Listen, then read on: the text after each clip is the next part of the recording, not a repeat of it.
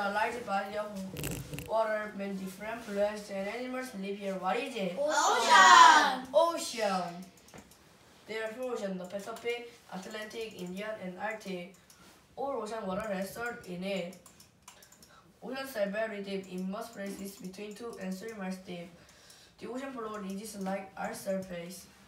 It has mountains and volcanoes in some places and in other places it is flat.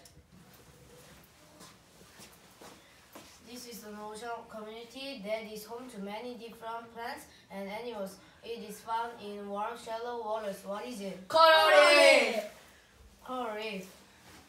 Tiny sea creatures make coral reef. They build rocky skeletons around themselves and when they die, they leave their skeletons behind. These skeletons keep building on top of one another to make a reef. More animals live among coral reefs than anywhere else in the ocean. There is plenty of food for small animals to eat and places for them to hide from larger animals. A mammal is a warm-blooded animal. This mammal lives in the ocean and cannot survive on land. What is it? Dolphin! Dolphin. Dolphins are mammals like us.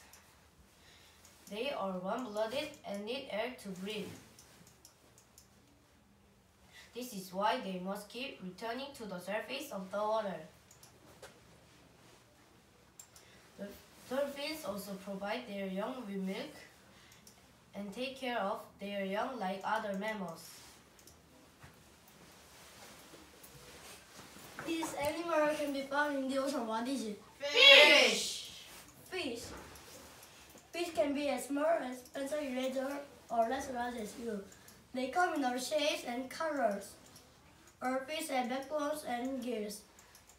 They use their gills to breathe. Most fish have scales and fins. Fish swim by bending their bodies from side to side. This plant is found in the ocean. What is it? Seaweed! Seaweed. Like other plants, seaweed needs the sunlight to make food.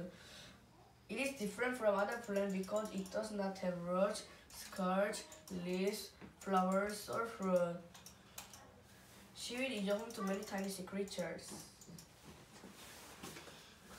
This can be found in the ocean or along the shore. What is it? Seashell! Seashell.